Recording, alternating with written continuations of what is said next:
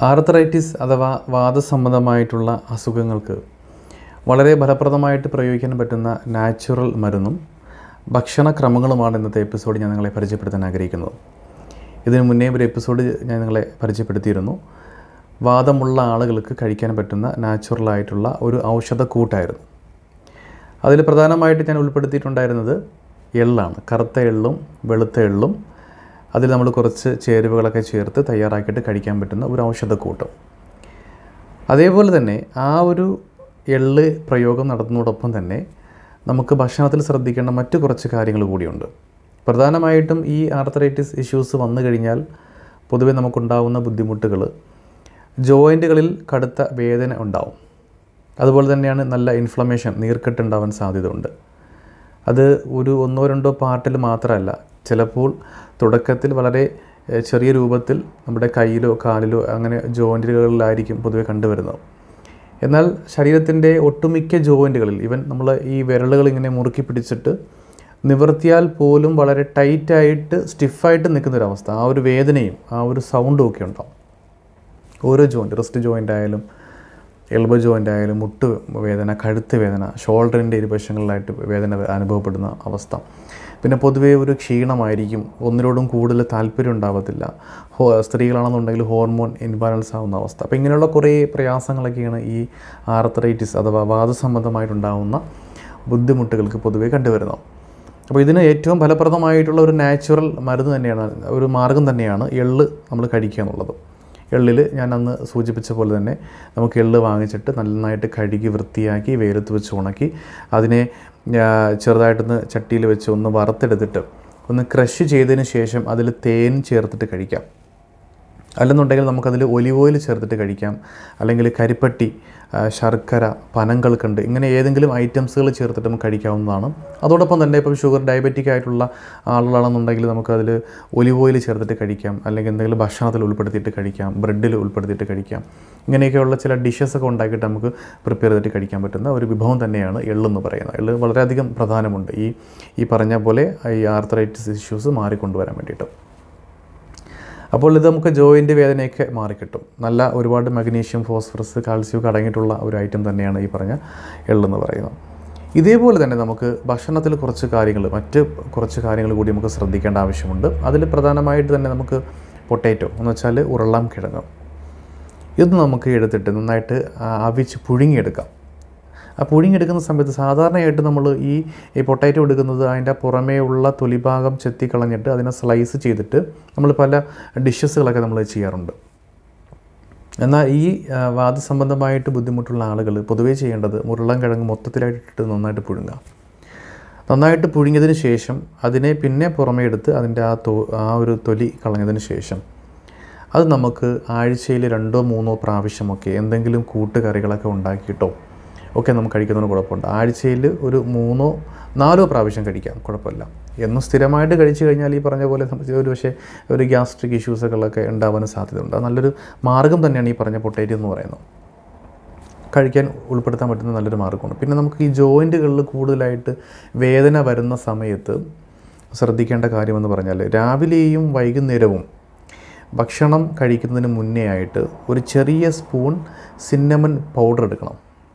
Okay cinnamon കറുവപ്പട്ട പൊടിച്ചെടുത്തത് ഒരു ചെറിയ സ്പൂൺ എടുക്കുക അതേപോലെ തന്നെ ഒരു സ്പൂൺ തേനും കൂടെ എടുക്കണം. തിളപ്പിച്ചാറ്റിയ ഒരു ഗ്ലാസ് വെള്ളത്തിൽ മിക്സ് ചെയ്തിട്ട് രാവിലെയും വൈകുന്നേരവും ഭക്ഷണം കഴിക്കുന്നതിന് അരമണിക്കൂർ മുന്നേ ആയിട്ട് കുടിക്കണം. അതേപോലെ തന്നെ ഞാൻ നേരത്തെ സൂചിപ്പിച്ച ആ പിന്നെ തേനിൽ തയ്യാറാക്കിയിട്ട് നമുക്ക് കഴിക്കാൻ പറ്റുന്ന സിസാമി സീഡുണ്ടല്ലോ എന്ന് വെച്ചാൽ എള്ള്. അത് വേണമെങ്കിൽ നമുക്ക് ഈ പറഞ്ഞ പോലെ രാവിലെയും വൈകുന്നേരവും ഭക്ഷണം കഴിക്കുന്നതിന് മുന്നേ കഴിക്കാം. അതുപോലെ തന്നെ ഭക്ഷണം കഴിച്ച് ഒരു മണിക്കൂറിന് ശേഷം വേണമെങ്കിൽ നമുക്കത് കഴിക്കാവുന്നതാണ്. അപ്പോൾ അങ്ങനെയുള്ള ക്രമങ്ങളിലാണ് നമ്മൾ കഴിച്ചു കൊണ്ടുവരേണ്ടത്. പിന്നെ ധാരാളമായിട്ട് വെള്ളം കുടിക്കണം. കാരണം ശരീരത്തിൽ ഈ നീർക്കെട്ട് വന്ന് വന്നിട്ടുണ്ടാവുന്ന ആ ഒരു ബുദ്ധിമുട്ട്. അപ്പോൾ നല്ലൊരു ഫിൽട്രേഷൻ നടക്കണം. അതുപോലെ തന്നെയാണ് നമുക്ക് ഈ ബ്ലഡ് സർക്കുലേഷൻ കാര്യമായിട്ട് നടക്കേണ്ട ആവശ്യമുണ്ട്. അപ്പോൾ ഇതെല്ലാം നടക്കണമെങ്കിൽ ധാരാളമായിട്ട് വെള്ളം കുടിക്കണം. രാവിലെ പ്രഭാത ഭക്ഷണം കഴിക്കുന്നതിന് മുന്നേ ആയിട്ട് ബ്രീത്തിങ് എക്സസൈസ് എടുക്കുന്നത് ഏറ്റവും നല്ലതാണ്. ശ്വസന വ്യായാമം. അതേപോലെ തന്നെയാണ് നമ്മുടെ ശരീരത്തിലെ ഈ ജോയിന്റുകളിൽ ഉണ്ടാകുന്ന ആ ഇൻഫ്ലമേഷനും വേദനയും ആ നീർക്കെട്ടും ഒക്കെ നമുക്ക് സബ്സിഡി ചെയ്യാൻ കുറച്ച് വേദന കുറച്ച് കൊണ്ടുവരാൻ വേണ്ടിയിട്ട് ഏറ്റവും ബെറ്റർ ആയിട്ടുള്ള നല്ലൊരു മാർഗമാണ് മസാജ് എന്ന് പറയുന്നത്. മസാജ് എന്ന് പറഞ്ഞാൽ നല്ല എഫിഷ്യന്റ് ആയിട്ടുള്ള തെറാപ്പിസ്റ്റുകളെ കൊണ്ടിട്ട് നമ്മുടെ ആ ശരീരത്തിൽ മൊത്തത്തിലായിട്ടുള്ള മസാജ് ചെയ്യാം. പാർഷ്യലായിട്ട് ജോയിന്റുകളിൽ മാത്രം കോൺസെൻട്രേറ്റ് ചെയ്തുകൊണ്ട് നമുക്ക് മസാജ് ചെയ്യാവുന്നതാണ്. അതുപോലെ തന്നെ ആർത്രൈറ്റിസ് ഇഷ്യൂസ് ഉള്ള ആളുകൾക്ക് എടുക്കാൻ പറ്റുന്ന നല്ലൊരു ട്രീറ്റ്മെന്റാണ് ഹിജാമ ചികിത്സ അഥവാ കപ്പിംഗ് ചികിത്സ എന്ന് പറയുന്നത്. അത് നമുക്ക് ഈ പറഞ്ഞ പോലെ തന്നെ ശരീരത്തിൽ നീർക്കെട്ടുകളെ കുറച്ച് കൊണ്ടുവരാൻ വേദനയൊക്കെ കുറച്ച് കൊണ്ടുവരാൻ ഇൻഫ്ലമേഷൻ കുറയ്ക്കാനൊക്കെ വളരെ ഫലപ്രദമായിട്ടുള്ള ഒരു ചികിത്സാ രീതി തന്നെയാണ് ഹിജാമ എന്ന് പറയുന്നത് കപ്പിംഗ് അത് നമുക്ക് സ്വീകരിക്കാവുന്ന ഒരു മാർഗമാണ് പിന്നെ നമുക്ക് നല്ല ഈ വേദന ഉണ്ടാകുന്ന സമയത്ത് നമുക്ക് പ്രയോഗിക്കാൻ പറ്റുന്ന മറ്റൊരു മാർഗമാണ് നല്ല കട്ടൻ ചായ എടുത്തിട്ട് അതിൽ കുറച്ച് ഇഞ്ചി ചതച്ചിട്ട് കഴിക്കണം. ഇഞ്ചിയുടെ ഒരു സാന്നിധ്യം ഉണ്ടാകുന്നത് ഏറ്റവും നല്ലതാണ് ഇഞ്ചിയുടെ ഒരളവ്. അതുപോലെ തന്നെ നമുക്ക് നാച്ചുറലായിട്ട് ചെയ്യാൻ പറ്റുന്ന മറ്റൊരു മാർഗമാണ് ആന്റി ഇൻഫ്ലമേറ്ററി ആയിട്ട് പ്രവർത്തി പ്രവർത്തിക്കുന്ന നമ്മൾക്ക് നമ്മുടെ ഭക്ഷണത്തിലൊക്കെ ഉപയോഗിക്കുന്ന ഒരു ഐറ്റം ഐറ്റമാണ് വെളുത്തുള്ളി അഥവാ ഗാർലിക് എന്ന് പറയുന്നത്. വെളുത്തുള്ളി നമുക്കറിയാം വെള്ള ഉള്ളി അല്ലേ ഗാർലിക് അതിന്റെ ഒരു സാന്നിധ്യവും നമുക്ക് ഈ പറഞ്ഞ പോലെ അത് ഭക്ഷണത്തിൽ ഉപയോഗപ്പെടുത്താം. ചിലരത് എടുത്തിട്ട് ചുട്ട് കഴിക്കാറുണ്ട് ചിലപ്പോൾ എന്തെങ്കിലും സ്പെഷ്യൽ ഡിഷസ് ഉണ്ടാക്കിയിട്ട് അതിൽ ഉൾപ്പെടുത്തി കഴിക്കാറുണ്ട്. അപ്പോൾ ഇങ്ങനെയൊക്കെയുള്ള മാർഗങ്ങളാണ് നമുക്ക് ശരീരത്തിൽ അമിതമായിട്ടുണ്ടാകുന്ന ഈ വേദനയും നീർക്കെട്ടും ജോയിന്റുകൾ കണ്ടുവരുന്ന ഇൻഫ്ലമേഷനൊക്കെ പൂർണമായിട്ട് മാറ്റിയെടുക്കാൻ പറ്റുന്നൊരു മാർഗം അതേപോലെ തന്നെയാണ് നമുക്ക് സ്വിമ്മിങ് ഏറ്റവും നല്ലൊരു മാർഗമാണ് സ്വിമ്മിംഗ് എന്ന് പറയുന്നത് കടലിൽ പോയിട്ട് നമുക്ക് കുളിക്കാൻ പറ്റുമെങ്കിൽ കടൽ വെള്ളത്തിൽ ഒരുപാട് ഔഷധങ്ങൾ അടങ്ങിയിട്ടുണ്ട് നമുക്കറിയാം. നാച്ചുറലായിട്ട് കിട്ടേണ്ട നമ്മുടെ ഒരു ഹ്യൂമൻ ബോഡിയിൽ കിട്ടേണ്ട കുറേ കാര്യങ്ങൾ കടൽ വെള്ളത്തിലുണ്ട്. അതുകൊണ്ട് തന്നെ പലപ്പോഴും ഞാൻ പല എപ്പിസോഡിൽ പ്രധാനമായിട്ട് ഞാൻ പറയാറുണ്ട്. സ്കിൻ ഡിസീസിനെയൊക്കെ നല്ലപോലെ പ്രിവെന്റ് ചെയ്യാൻ പറ്റുന്ന ഒരു മാർഗമാണ് കടൽ വെള്ളത്തിൽ കുളിക്കുക എന്നുള്ളത്. ആഴ്ചയിൽ പോയിട്ട് ഒരു ദിവസമോ രണ്ട് പ്രാവശ്യം മിനിമം അറ്റ്ലീസ്റ്റ് ഒരു പ്രാവശ്യമെങ്കിലും ഒന്ന് കുളിക്കാൻ പോയി കഴിഞ്ഞാൽ ഏറ്റവും നല്ലത് തന്നെയാണ്. അപ്പോൾ അതേപോലെ ഈ കടലിൽ പോയിട്ടുള്ള കുളിയും ഈ ആർത്തരി ആർത്രൈറ്റിസ് ഇഷ്യൂസ് ഉള്ള ആളുകൾക്ക് നല്ലതാണ്.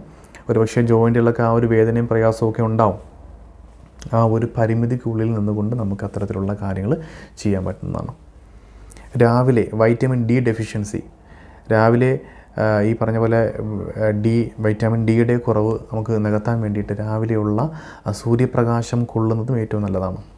സൺബാത്ത് രാവിലെയുള്ള സമയം കൊള്ളാം. അതുപോലെ തന്നെ ഈവനിങ് ടൈമിൽ നമുക്ക് അത്തരത്തിലുള്ള കാര്യങ്ങളൊക്കെ ചെയ്യാം. അപ്പോൾ ഇതേപോലെയുള്ള ക്രമങ്ങളാണ് നമ്മൾ ഈ പറഞ്ഞ ആർത്രൈറ്റിസ് അഥവാ വാദസംബന്ധമായിട്ട് ബുദ്ധിമുട്ട് അനുഭവിക്കുന്ന ആളുകൾക്ക് പ്രത്യേകമായിട്ട് ചെയ്യേണ്ട കാര്യങ്ങൾ ഞാൻ ഭക്ഷണത്തിൽ ശ്രദ്ധിക്കേണ്ട കാര്യങ്ങൾ പറഞ്ഞു. വ്യായാമം നമുക്ക് ആവശ്യമുണ്ട്. അതിൽ തന്നെ ഭക്ഷണത്തിൽ തന്നെ ഒരുപാട് വൈറ്റമിൻസും മിനറൽസും പ്രോട്ടീനും ഒക്കെ അടങ്ങിയ നല്ല ഭക്ഷണങ്ങൾ സെലക്ട് ചെയ്യുക. നല്ല ആക്റ്റീവായിട്ട് കാര്യങ്ങൾ ചെയ്യുക. കാരണം നമ്മൾ ഒരു രോഗിയാണ്. അല്ലെങ്കിൽ ഈ പറഞ്ഞ പോലെ നമുക്ക് ജോയിന്റിലൊക്കെ വേദനയുണ്ട് പ്രയാസമുണ്ട് എന്ന് വിചാരിച്ചിട്ട് നമ്മളൊന്ന് പൂർണമായിട്ടും ഒരു രോഗിയുടെ ഒരു അവസ്ഥയിലേക്ക് മാറാതെ തന്നെ നമ്മളിതിനെ അതിജീവിക്കാൻ വേണ്ടിയുള്ള ഒരു ശ്രമമാണ് നടത്തേണ്ടത്. അതിനു വേണ്ട ഒരു ആത്മവിശ്വാസം നമ്മൾ ഉണ്ടാക്കിയെടുക്കുക ഇത്തരത്തിൽ പ്രയാസപ്പെടുന്ന ആളുകൾക്ക് ഈ ഒരു വീഡിയോ ഷെയർ ചെയ്ത് കൊടുക്കുകയാണ് ഞാൻ നിങ്ങളെ ഓർമ്മപ്പെടുത്തുകയാണ്. ഇതെല്ലാം കൃത്യമായിട്ട് പ്രാവർത്തികത്തിൽ കൊണ്ടുവരിക. ഇതേപോലെ തന്നെ ആരോഗ്യപ്രദമായിട്ടുള്ള നിരവധി വീഡിയോസുകൾ ഞാൻ എന്റെ യൂട്യൂബ് ചാനൽ അപ്ലോഡ് ചെയ്തിട്ടുണ്ട്. ഡോക്ടർ സാജിദ് കടയ്ക്കൽ എന്നുള്ള യൂട്യൂബ് ചാനൽ സന്ദർശിച്ച് കഴിഞ്ഞാൽ നിങ്ങൾക്ക് കൂടുതൽ വീഡിയോസുകൾ കാണാവുന്നതാണ്. നമുക്ക് അടുത്ത എപ്പിസോഡിൽ പുതിയൊരു വിഷയമായിട്ട് വീണ്ടും കാണാം. ബൈ.